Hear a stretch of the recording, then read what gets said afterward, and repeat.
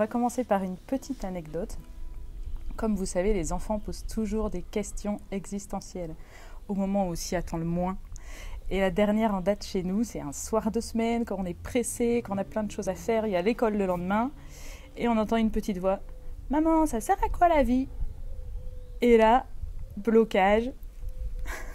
Mais heureusement, notre petit garçon de 8 ans, il a tout de suite répondu du tac au tac Bah, la vie, ça sert à notre mission. On essaie très vite euh, de donner conscience à nos enfants qui sont chacun appelés à des petites missions au quotidien et euh, qui doivent être fidèles à ces missions pour lesquelles euh, Dieu les appelle régulièrement.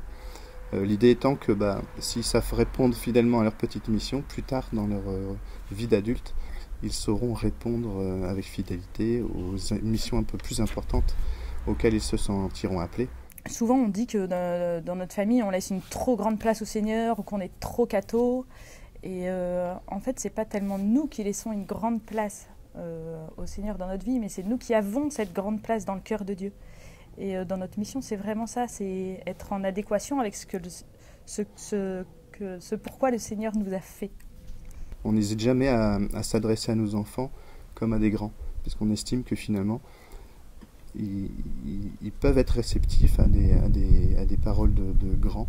Il euh, ne faut pas avoir peur d'employer ces mots-là, de mission, d'engagement, de fidélité, d'exemplarité, d'honnêteté, tout ça, c'est des choses qu'on peut faire passer très tôt finalement. Et très souvent on est étonné comme quoi euh, ça, les marque, ils se sentent valorisés à leur niveau. Et euh, finalement, ben, les, les, les choses passent très très bien. Alors, la deuxième chose qui nourrit vraiment notre famille, c'est le pardon les pardons donnés, les pardons reçus, les pardons des enfants entre eux, euh, les pardons des enfants envers les parents, mais aussi les pardons des parents envers leurs enfants. Parce qu'en fait, là, ils se rendent compte, les enfants, qu'on est tous dans le même bateau vers la sainteté. Et euh, on, se met, on est tous au même niveau, en fait. Et ça, ça apporte une grande richesse pour la famille. Au moment du jubilé de la miséricorde, il nous avait été proposé de faire un temps de pardon en famille.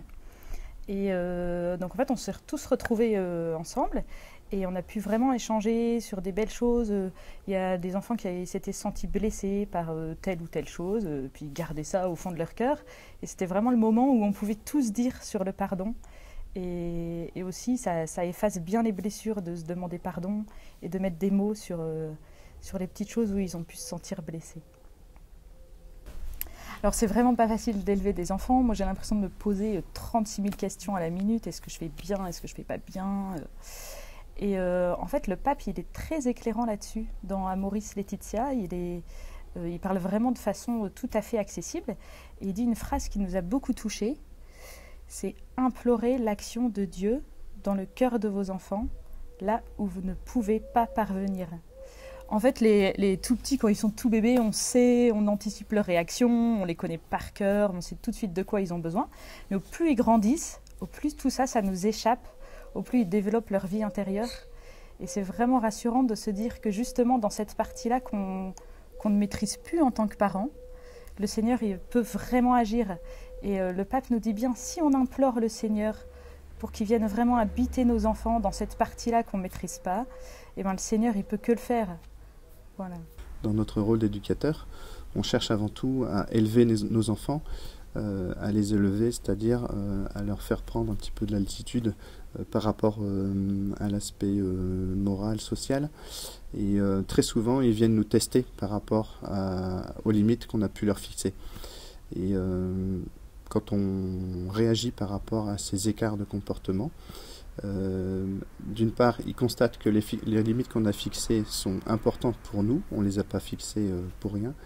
Et d'autre part, euh, il voit avec quelle autorité, fermeté, mais justesse on essaie de les ramener dans le bon comportement. et il voit en cela qu'ils sont aimés, y compris quand on les réprimande finalement. Alors sinon, on trouve aussi qu'il y a un petit côté pratique à élever nos enfants dans l'éducation chrétienne. Par exemple, euh, au moment des repas, alors chez nous, quand j'ai fini de préparer le repas, je sonne la cloche. Ils descendent tous en courant, ils se lavent les mains, ils s'éclaboussent, il y en a partout. Et là, on se met tous autour de la table et on dit une petite prière. On a vraiment gardé ça, le bénédicité, chez nous. Et du coup, ça apaise tout le monde, tout le monde s'attend. Voilà, donc ça, c'est une petite chose pratique. Il y a aussi la, La prière du soir, ça fait partie du petit rituel du coucher, voilà, où tout le monde retrouve le calme avant d'aller se coucher, et ça c'est vraiment quelque chose de chouette chez nous. Alors on voulait finir par une petite anecdote. Euh, quand on est vraiment énervant avec les enfants, quand on en veut trop, quand on exige trop, ils nous regardent en nous taquinant et ils nous sortent une phrase de la Bible de Saint Paul. Parents, n'exaspérez pas vos enfants.